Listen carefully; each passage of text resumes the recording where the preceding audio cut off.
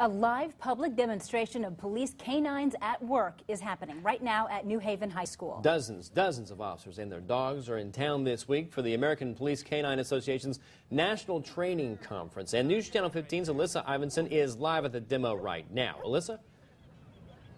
Well, the Canine public demonstration just wrapped up here at New Haven High School. Folks got to see all kinds of different exercises that canine officers can do from detecting drugs to catching and apprehending a bad guy. We're going to show you a live demonstration right now of aggression control. I'm wearing a bite sleeve, so we're going to have a canine on the officer's command come bite the sleeve, and then on the officer's command, he would stop the apprehension. So, okay.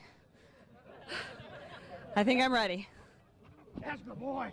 Good boy. Good fucking. That's a good boy. Lady, quit fighting my dog and I'll call him off! Rico, out! Food out! All right, I just did that.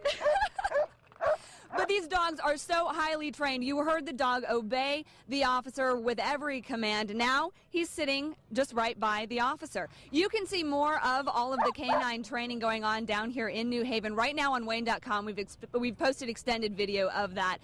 I survived. We're live in New Haven. Alyssa Ivanson, News Channel 15.